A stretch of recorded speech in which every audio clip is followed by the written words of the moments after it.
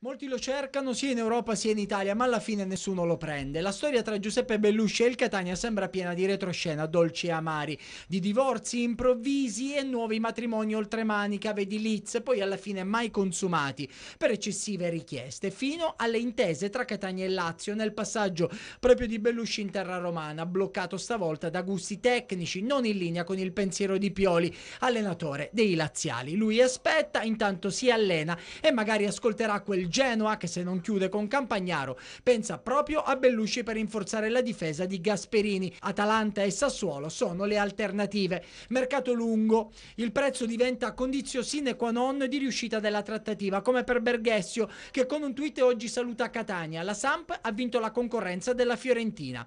Da una punta ad un'altra, come Bruno Petkovic, che pare non abbia passato le visite mediche a Lanciano e la società ha bloccato per ora il suo acquisto. Cosentino intanto con il cash di Berghessio ripiana le uscite per Rinaudo e si butta adesso sulla spalla, o meglio l'alter ego di Calaiò in attacco. Non vuole lasciare scoperto proprio quel ruolo. Così Cosentino pare abbia già individuato la punta con caratteristiche diverse rispetto a quelle di Calaiò per permettere a Pellegrino di sfruttare altre soluzioni offensive. Intanto sempre osservati speciali sia Monzon che Leto da moltissimi club. Qualche partenza eccellente si vedrà. Giovedì intanto alle 17 nuova amichevole, spazio spazio stavolta per molti titolari rimasti ai margini. Testa ancora agevole contro l'equipe Sicilia, ma importante per testare movimenti e gambe secondo il rigoroso programma Pellegrino Ventrone.